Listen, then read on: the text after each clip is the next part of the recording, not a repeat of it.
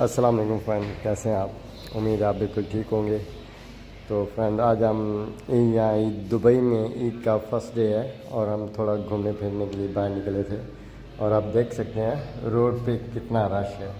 तो आज हम आपको दुबई के रोड का थोड़ा सा विज़िट करवाएँगे।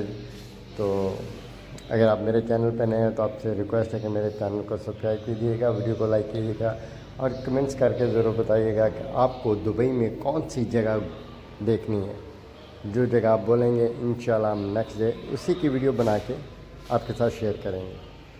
तो